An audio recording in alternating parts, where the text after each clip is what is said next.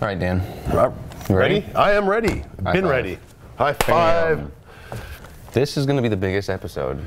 Is it? Maybe. Biggest? Yeah, I think you're All right. right. Brick Maniacs, it's time for another episode of Brickmania TV.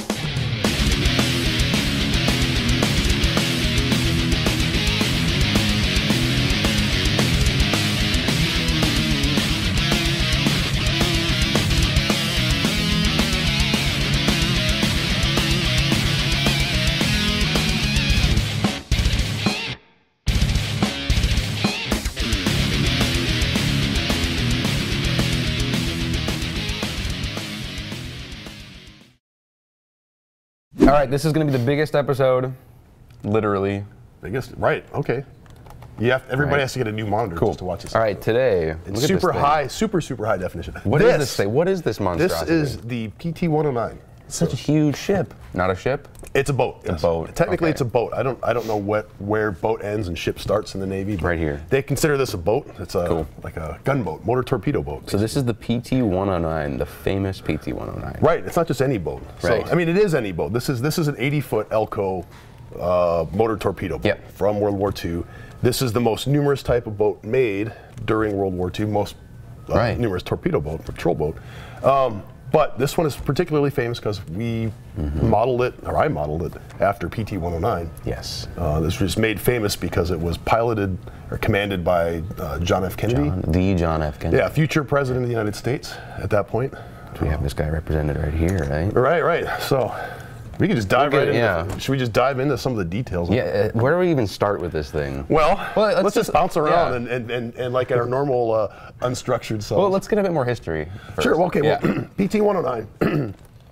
so let's let's start with the PT boats. It's a motor torpedo boat. The idea being that. Uh, a small craft could launch torpedoes um, against a battleship or a big capital ship. Yeah. So the the idea of having a fast patrol boat that could speed up to the fleet and uh, um, you know sneak in using stealth, get close to the enemy battle fleet, Right. whittle down the numbers by launching torpedoes at them.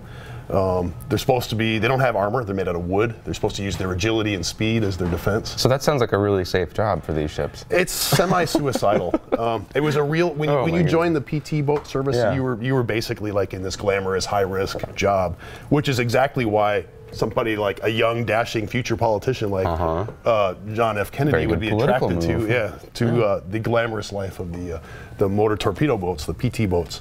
Um, so fast forward World War II a little Mm-hmm. bit into the war. We're in 1942. Uh, the Battle of Guadalcanal is raging Right. in the Solomon Islands, and uh, it's a, basically a life or death struggle. We're, we're, we're thousands of miles away from the United States, thousands of miles away, thousands of miles away from Japan. Both armies are, you know, both countries are locked in combat on this tiny little island. Japan is sending reinforcements Right. down from Tokyo. They call it the Tokyo Express, and the Americans are throwing whatever they have in their way. So at night, um, down comes the Japanese ships. Out go the uh, the American patrol boats Right. try to intercept them. So uh, one night, 1942, uh, during the Battle of Guadalcanal, Mm-hmm. um, PT-109 was on a patrol uh, with I think five or ten other patrol boats, Right. and um, just it was it was idling. They, you know, basically what happens is you, these po- patrol boats go through the water, they leave a huge wake, and they disturb all the the phosphorescence, and they can be seen from the aircraft. So they heard an airplane, stopped the boat, Ah, um, and while they were they were idling, basically waiting for Japanese ships to show up, stuff like that, one showed up right in the midships of the, the PT-109, sawed it in half, ship blew up. So that was totally accidental on the Japanese. It's speculated. Nobody's ever said for sure. The you know, it turns out that after the war, the the, the captain of the the destroyer, the Amagiri, Right. um, became friends with, with John F. Kennedy. So he went out, he sought out. Sorry uh, about your boat. Yeah, but they never, they never like. Um, That's I, I don't think there was ever an official account saying that he did it on purpose. Of course, when you're when you saw an enemy ship in half, you're like, oh yeah, I meant to do that. Totally. that, that's awesome. So, the, but the, the PT-109 blew up right Yep. in the midship where it hit. There is thousands of gallons of, of 100 octane aviation fuel. This is like a thoroughbred. This is this this ship. You could water ski. You could have a hundred water skiers towed behind this thing. Um, so it's three ginormous racing engines, 12 cylinder like race car engines in this thing.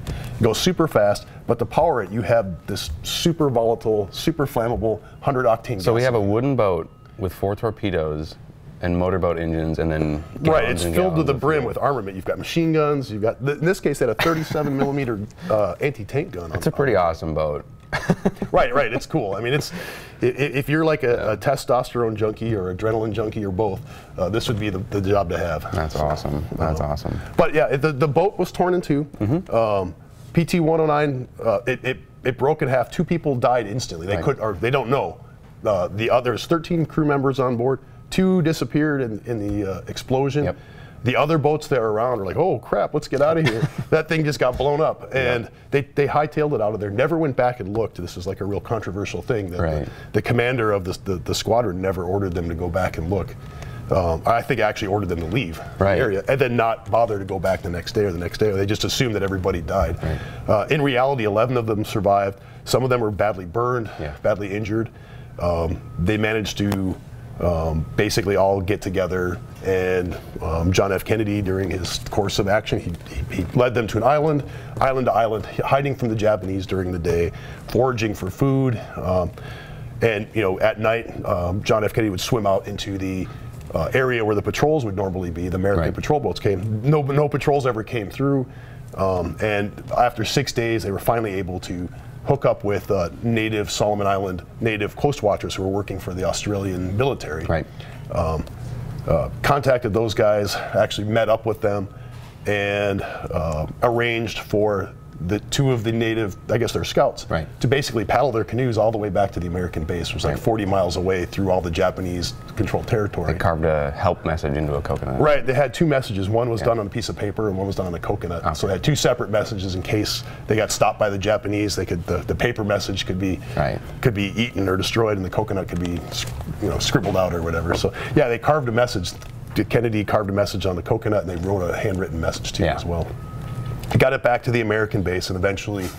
Um, they came and rescued the, uh, That's the, crazy the, the, stranded crew, the PT-109. Yeah. That's crazy. So that was famous. That I mean, that was world famous. That was like in Reader's Digest.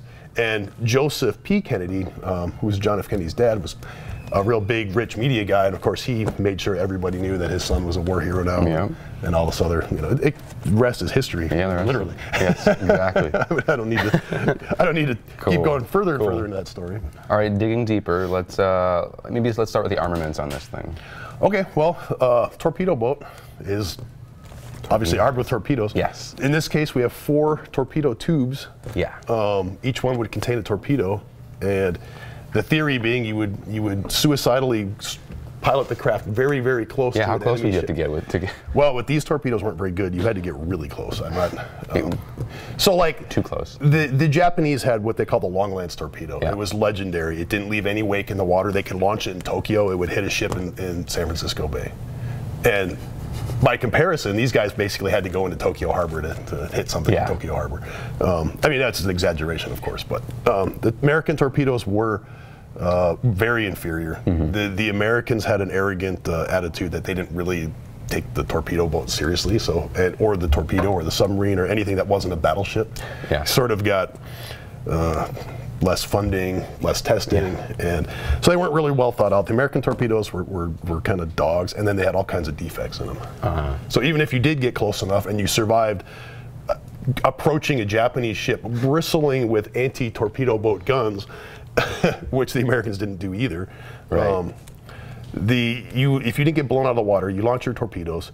Um, a lot of times with this particular torpedo tube, um, so you have a tube, torpedoes packed in grease inside this tube, and then you launch it with a uh, powder charge. Yep. So inside back here, there's a black powder charge. You push a button, or if that didn't work, you got out a hammer and you, you, you manually ignited it with the with the detonator. Sounds super. Right. Yeah. And so this this tube packed with grease, um, which you've never even tested your torpedoes because you were never getting given a budget to do a test firing with. Sure. Um, if you're lucky, the torpedo goes and goes into the water. The minimum that's going to happen is there's going to be an enormous flash for your black powder going Yep. off, giving your position away, especially at night. Yep. And your torpedo will go on and, and, and miss the ship because they sucked. Um, not that for lack of trying, the guys tried their best. But you know, there's, Yeah. there's very few you really- recorded actual sinkings of anything significant by a torpedo boat until later in the war. Right. So, but then the worst case scenario is the torpedo wouldn't eject out of the torpedo tube. It would just And so now you have a, a live torpedo. you have a live torpedo in there. It's it's, it's powered by compressed air. A certain number of revolutions of the, the the the spinner arms the torpedo. So now you've got this armed torpedo Yep. in your tube. And ma- in, in the worst possible scenario, your torpedo tube's on fire Yeah, 'cause because the the powder charge ignited the grease. So any one of those possible combinations, and there's, there's horror stories about these things. These guys are super brave, super are dumb or something. You know, I guess pa- Combination. patriotic and, yeah, and, and whatever. You know, it's it's it's when you're in wartime and you do things that are do crazy things, yeah. And you do what you're asked to do and, and hope for the best. Hope somebody knows what they're Yeah. doing. Um, so that's a torpedo. Yeah. This this particular boat had two, um, I guess they're turrets, Right. um, of 50 caliber machine guns. They're twin 50 cals, and these are aircraft machine guns. So they're actually a little bit. They're So this not can the, go like straight up and down, pretty much, right? Right, right, yeah. Can, you can take the figure out, yeah, and, it, can, and it goes around. You can spin it around. It's just easier not to not to Right. deal with the figures on it. The easiest way to spin that around is you would just unclip it. Right, right. Clip it on. But in, the real world, that's on a Right. on a chase. You just kind of lean into the turret; it'll it'll rotate. Um, these are actually belt-fed machine guns. I just, um, for the sake of using the the, the can the, the, the, cans that come with the M2 HBs, I Yeah. just stuck those on there. Um, we did have Will did make us some super sweet aircraft barrels. Um, these were Yeah. from another project that never that never came to fruition. So we were lucky enough to have uh, I can see access to these these sweet uh, M2 um, aircraft uh, machine Yeah. gun I like barrels. the uh, the jackets on the side of them, right? They- Yeah, yeah, they're, cool. air cooled. Yeah, it's cool. These are a little bit more significant. Yeah. so you have the M2 HB body, but you have a, uh, the actual aircraft barrels. Um, you also this particular. I boat- love that thing on the front. Yeah. So, so basically, during the course of this campaign, they were trying to sink essentially Japanese. You know, they had all these destroyers, they had all these big ships going Yep. to Guadalcanal to resupply the troops there, but they also sent a lot of supplies on barges, especially between the different islands that the Japanese held. Yeah. And the barges were basically like an armored barge. Mm-hmm. And the 50 cals couldn't do anything against them because the, the sides of the barges were too heavy. Right. And there's no explosive shell or anything at this. Torpedoes were just torpedoes. They Right. go under the barge. Even if they got close to the barge, the chance of them malfunctioning seemed to be. right. See, they, you know, I don't think anybody was admitting it out loud, but they didn't work. Um, and the uh, so they, what they did is they, they borrowed a 37 millimeter anti-tank gun from the army and just lashed it to the deck. so this was like a stop. It's quite literally like on wooden planks, right? Yeah, yeah. For this case, this was an experiment. So this is actually kind of a cool. You know, Yeah. not only is it PT 109 cool for you know the survival story and, and, and all this other stuff. Yeah. But they actually were one of the first to actually have this gun on here. Right. And if you look at later PT boats, they actually replaced this with a deck-mounted. Uh, little 37 millimeter gun where a guy would stand there with automatic cannon. Right. They took it out of an Airacobra airplane. Oh, um, sweet. and stuck it on the deck. And Yeah. it's really cool. It's like made by Oldsmobile. Like all this kind of Nice. cool So that, that would have been in later models of this. That would have been Right. So this this there. is this is a, a, a class 103 class torpedo boat. Yeah. Um, uh, most of the Elcos were of that class. Okay. Um, and they later they just kept adding adding more armament. They eventually added these big five inch rocket launcher projector things off the Oh, front. cool. So. They turned these from torpedo boats into gunboats, basically. Yeah. They, they just go barge hunting and they could just destroy you know, lo, uh, woe is the Japanese troops on the shore too that would be caught out in the open by one of these things. Right. This is you got you have four machine guns, 37 millimeter gun, and you have a 20 millimeter on the back. Yeah. They later replaced that 20 millimeter with the with the Bofors 40 millimeter. So this they really turn these things into heavy armament. Yeah. Um, some motor torpedo boats actually had their torpedo tubes removed and had. Um, uh, depth charges added to Yeah. them. So they could be patrol boats in like a harbor against submarines and stuff Cool. like that. Um, you only have like four depth charges, so you better get it right the first time. Cool. That's the armament of this thing. Right. So, yeah, maybe like delve into the kit here itself. Sure. Well, this Yeah. is a kit. This is the, this is the biggest Brickmania kit since years. The It's- castle era, right? Right. Yeah. We haven't built anything or any released Back anything quite this big. Yeah, back in Brickmania's dark ages we were making castles. Um, so this is 4,100 something pieces. Yep. Uh, it's just it keeps creeping up in, in part count. 13 minifigures. So we have the whole crew of, of PT 109. Yep. 13 minifigures, 1,400 4,100 pieces. Yeah. Um, it weighs, I don't know, what does it weigh? Like five pounds. It's super heavy. Um, you get this sweet stand. Yep. I mean, I didn't know how extensive the uh, arrangements for the PT boat are. So I, I actually went and bought a bunch of plans and blueprints. And, Yep. Um, found some some cool stuff online, and I was able to buy. So this is like actually PT 109's deck layout. Um, this stuff is all freely available. It's just hard to find. Yeah. Um, so I was able to figure out how this thing's built, what goes under the deck, everything. So this is built true to the um, the way a PT boat, Right. especially this one because it's so well documented, um, is is laid out. So we can go over it real quick. Real quick, yeah. Real quick, we'll go over it. So there is a completely de- in- detailed interior. I'm just going to start pulling Yeah. off pieces. I, I I built this to come apart so you could. Yeah, it's really cool, like the, the, the posability of everything. You have these little studs kind of exposed here and Right, there in and, the deck. and, and the to studs. There are studs where you can pose people. A lot Mm-hmm. of these studs actually are for different things. So there's a hole here. There's a hole in the back. That's so you can at different times you can move the. They'll have the flags at different It's areas. just got everything. That's cool. So you can put the flags where it's supposed to go. There's supposed to be a, a little ensign. You get one basically without the stars. So we printed this this this cool. It's it's like on fabric paper. It's a fa- yeah, fabric paper, and then we laser printed. Um, That's digitally it. printed. It's it's cool. We could you could get it wet. It won't run like Mm-hmm. Yep. some of our other cloth accoutrements that have come with Brickmania stuff. In the past. Yeah, It's a new past. era. In the past, it's a new era. Um, so that's kind of unique. Yeah. We, we printed it. It's actually double sided, and that was the, the magic of our production people were able Yeah. to make that thing That's happen. cool. Print- Yeah, I'm, I'm amazed. All right, She's, so, she's over there right now, so okay, smiling. yes. So we were able to get that. That's cool. Uh, that was Amanda, by the way. I'll- We'll put a name to the, the, the, the people behind the scenes here. So here, I'll, I'll start taking it apart. Yes. So we have the deck house. This is basically the chart room right here. You could take off this piece of the chart house. So the chart house itself, so you can get it off without destroying everything. That whole thing, this whole thing comes off as a unit. So in real life, that would eject off and then turn into a little. Yeah, this is a skate pod. Only officers are allowed in the skate pod, right?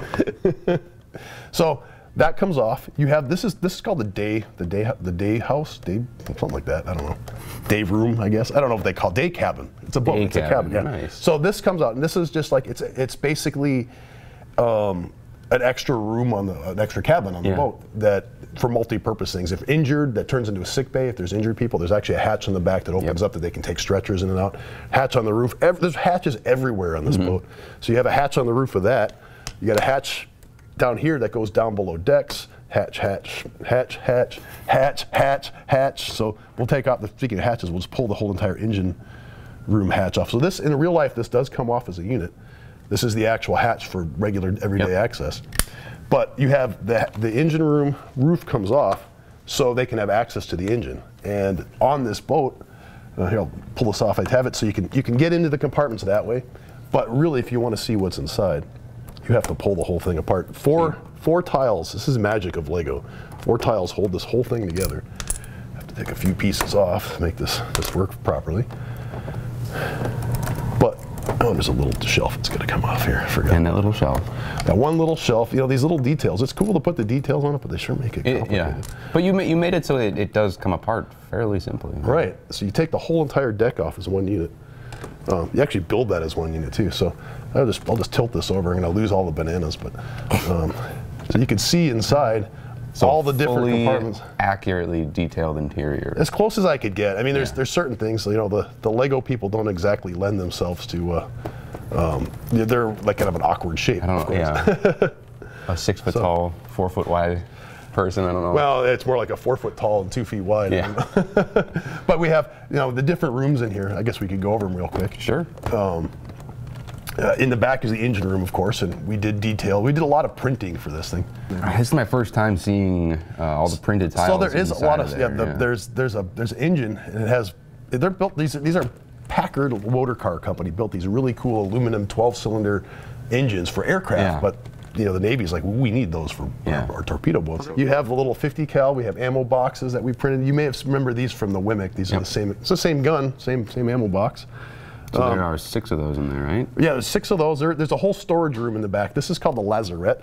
All these, I learned all these nautical terms: lazarette, day cabin, uh, chart room, uh, the galley down here. We have a galley, which is fully detailed. It's got the navy beans in there. Right, we did some navy beans, but of course we had to print some some, some funky stuff. Some custom So we, we have navy, navy beans. I'll try to hold my hand steady so you can focus on this. It's attention to detail here. Um, we have some pineapples in there. I mean, there's all kinds of stuff. So there's there's a there's a spot in the, there for the, the, the you know in the engine room or the the guy. There, you have to man. There's a guy that sits on the engine basically and controls all the Yes. the clutches and gears. Um, we did some other funky. We did some these duffel bags, basically like a sea bag. That's with the texture printed ink. Yeah, it's cool. It actually is kind of I think we'll be using that a few, a few I times move my down the road. fingers out of the way. You might be able to see that a little better. But we use it on here. Yeah, it's on here. It's going to be on a, It's a, feature yeah, a few it's a bit tanks of an that are coming update of the Lego had a duffel bag on some old Star Wars set. Right. So, yeah, yeah, yeah. It is, it, is it Star Wars? I don't know if, what, what it was. it. Star Wars? I don't know. Some, some- something cool that we've expropriated for our own purposes. um, so, like, basically, let's go through this. Lazarette, it's basically storage, ammunition, extra anchors, stuff like that, extra props. Um, engine room, three Packard engines. There's a there's a backup generator. Um, you come forward, you have the day cabin. Each these, this void that's right here is actually where the fuel tanks are. So you, you know, if you're in the day cabin, you're pretty much toast if those fuel tanks go up. Um, you get sawn in half by a Japanese uh, destroyer. Um, basically, we have the uh, the wardroom. It's the officer's wardroom. Yep. You have the storage area. It's kind of in later boats. This was taken over by a radar uh, station. Yep. Um, our radio equipment and stuff. The galley. This is the crew quarters. Up here's the crew head, uh, toilet, uh, and then you have two officers' quarters, and in the middle there's the officer's head. So and this is this is actually the floor of the chart room. Oh, cool. So those are that's the interior of the of the boat. Tried to detail everything as, as well as we could. I mean, it's you're cramming everything into such a small Right. space. Just like the real boat, there's not a whole lot you can do. Right. But it is fully detailed. I mean, that's kind of there's there, right in here is like a lot of the detail in the boat. You have to actually take it apart Right. to see it. you can actually take these sides off um, and see the boat that way. So there it is with the side side removed. I did forget to take a few pieces off that would have uh, expedited that whole removal process. So there you have the boat with the, it's basically broken down to its components. Yes. Um, the bottom does come off, so you can display this. You can take the bottom of Yeah. the hull off and display it as a waterline model. Um, it's a little more, you know, basically just keep on stripping it down. But then if you put it back together without the bottom, put the sides back on, Yeah. It'll sit right on the table. The floor, the, the floors, I guess the deck will Right. stay on the, you know, Yeah, you can have this thing on display with just the whole side open. right, yeah. And uh, yeah, it's cool. Yeah, so that's kind of an interesting feature. So I'm not going to attempt to put this back together, but maybe we could do a well, nah. Time lapse. Nah. it's really hard to build reaching over. no. So, so that's it. Let's talk about the mini. Cool. All right. So our first figure is the JFK, right? No, CO. He's wearing the CO. So the commanding officer. Yep. And uh, we kind of pull out all the stops with this. Um, full printing on all of the. Like, how many crewmen? What do we got in here? We have 13. 13 fully 13 printed Right. guys. Mo- the majority of them are like this guy. Here. Yes. He's uh, he's uh, you know, basically your standard sailor. So this is the standard sailor. Um, he's wearing the kapok life vest. Did I say that right? kapok? I think so. Cool. Um, and that's got that textured ink on that. I don't know if you can get that with the camera. Um, we did a little bit extra ink on the uh, collar part of that life vest, which is really pops Well, not only that, we, we actually, you know, we're, we're pushing the envelope what we can do with printing. We really fine tuned our, our printer, so you have We're almost using it more like a 3D printer at this point. Right, you you have texture, so the, the it's hard to I don't know if it'll show up on the camera, but you have sort of a denim print on the legs. You have Yeah. a denim pattern, the belt, everything that you know we can to like sort of uh, spiffy this up. So we we fine tuned it. It's, it's a little bit. We're able to get it a little bit sharper than Yeah. we have. Um, it's a printed head too. So these are we're not, we're not just doing So this is our first test at, um, I got a neck strap for the helmet on here. right. Um, that's my first go at it. We'll, you know, continually improve on it, but it's it's cool. It's a good first Right. So this is the sort of the standard you're going to see from our figures in the future, and, and we we have 13 guys on this boat, and, and it's a lot of unique ones. Um, So next up is would just be like an interior crewman. Um, he's got the inside. I- I'm assuming it's a lot warmer down there with all the engines going. right. Right. So he's kind of So he's got he's got. Uh, I think this is the first minifigure with uh, armpit stains. so he's below deck. You get you have your crewman down below. Got the cuff jeans um, with that cool denim texture on there. Is, is it my understanding that every every minifig in this boat comes with a helmet? I'm not sure. Okay, I don't. I don't, I don't know. So, Well, we'll see. Yeah. So next up, next I, up, I we, think that was part of the program. this is the know. guy that would be sitting on top of those those engines in that lovely tropical. Right. There's a lot of there's a lot of pictures you could you could you could Google it um, uh, and find guys sitting. They're basically there's a station.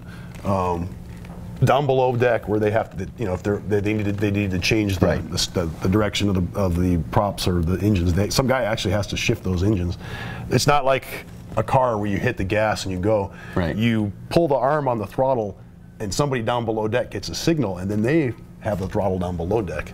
So it's not automatic like A little bit of a delay there. yeah, there is a linkage. I think that they they, they, they added, but uh, um, for fine tuning it, Sure. they have to. Cool. They, they'll have a guy down there sitting on that engine. that's this guy's working job. the clutches and the, and the transmission. Sounds like a really fun job. Right. Well, hey, it has to be done. You, Um, so your your basic job you, on this boat, you're either a commanding officer, a gunner, or a motor machinist Right. mate, because it took a bunch of guys to, to, to keep these boats in, in fine, you know, proper uh, fighting trim. Right. Um, other detail on this guy, he's got a texture printed uh, watch, and that's just the, I'm blanking on the name of it, but that's just the standard issue watch for the U.S. military. Right. Um, you know what he's missing? He needs a battleship tattooed across his chest. Maybe, maybe a PT boat. A lower back tattoo. Yeah, tramp stamp. And then we have um, two more uh, just guys. blue jackets, like all they're just standard blue jacket printing. I mean, that's, Yeah. So Different faces, we were trying out different stuff. Um, yeah, grease stains on that guy. yeah, so yeah, that, those aren't standard issue grease stains, are they? No. Yeah. So that's those are just some of the cool figures. You do get 13 figures in all. Most of them are like this guy. As I say, he's he- he's going to be your standard crewman up on the deck, uh, fighting for his country. It's cool stuff. I, I guess I don't know where to end on this. What what else do we got here? Well, you see this lovely uh, real life uh, display of blown up, destroyed PT-109, I guess. Should we end on a time lapse of you putting this thing back together?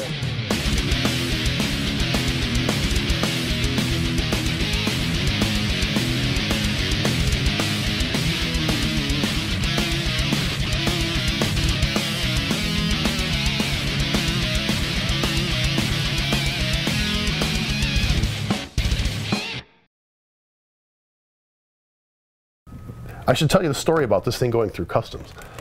Or not through customs, through the airport. Yeah, you took this thing on the airport. So I, this was brought out to the San Jose Comic Con so I could work on the, the The make- prototype making the instructions right. Right. And they made me put it through the conveyor belt into the through security, and I had it wrapped in a plastic bag, and I stuck it on the belt. That doesn't look suspicious at all.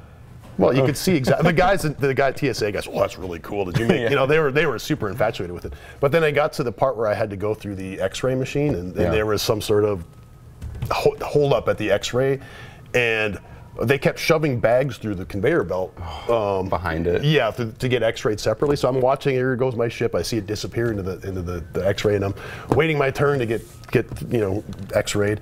Get through the other side. There's a whole backup of suitcases because they had waited, made everybody wait so long that the entire conveyor belt past where I was was full of suitcases, and they were still trying to conveyor belt more through. So the boat was stuck in the chute sideways. Imagine here's the edges of the chute, and the boat's rolling oh. like this Oh. because the conveyor belt's moving, and I could see pieces falling off. And at least it was in a bag, and it, it survived about you know 20 laptops and computers and boots and, and trays just smashing into it, repeatedly smashed. Because I kept, I don't know, I, I, is that like everybody's reaction when something's stuck? Let's just try to jam more things into it.